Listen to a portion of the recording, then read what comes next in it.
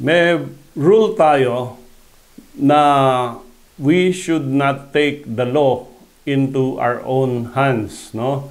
And uh, pag ikaw ay isang owner ng isang property at merong uh, lessee na ayaw umalis or occupant na ayaw umalis, eh hindi mo pwedeng ipadlock yung apartment or hakutin lahat ng gamit nila at itapon sa kalsada para umalis.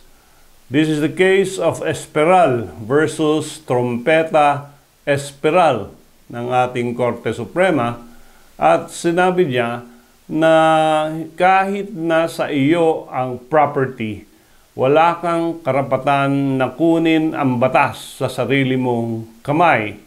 And you have to file a suit before the municipal trial court to eject yung lessee whose lease has expired uh, in the leased premises but you cannot do that on your own. Kailangan mo ng court order evicting yung tenants and uh, even if you are a landlord, it does not give you the authority to remove yung tenant without a court order.